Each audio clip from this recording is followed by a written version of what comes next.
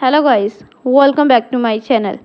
Today in this video i will show you how to turn on call recording on iphone in ios 18 now let's start the video.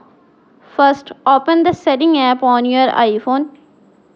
On the setting page scroll up click on apps.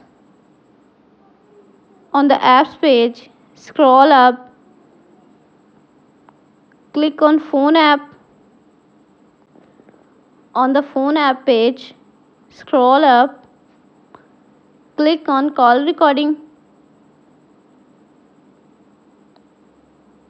Turn off call recording. Then wait for few seconds and turn on back. This allow you to use the phone app to record a conversation during the call.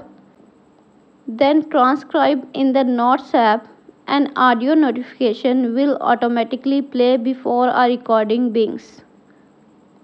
Thanks for watching this video.